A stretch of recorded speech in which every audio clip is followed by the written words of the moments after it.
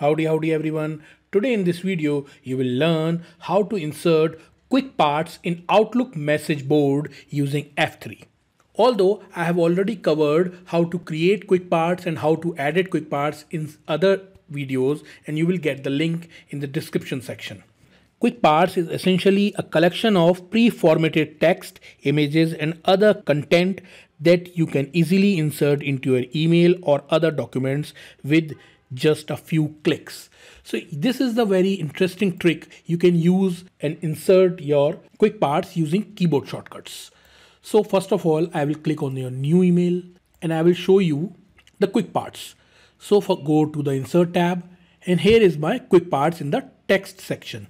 When I click here, I have already created a, a quick part here and then I have already named it as meeting. So the trick is all you have to do is to simply enter the name exactly what it, it is given here and simply hit F3 key. So I will show you how it works.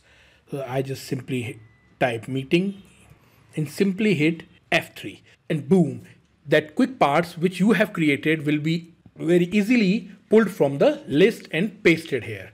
That way you can use your keyboard F3 key to insert the quick parts. I hope you enjoy this video. Don't forget to like, subscribe and click on the bell icon so you will never miss out any Outlook tips and problem solvers videos I come up with. Thank you and have a nice day.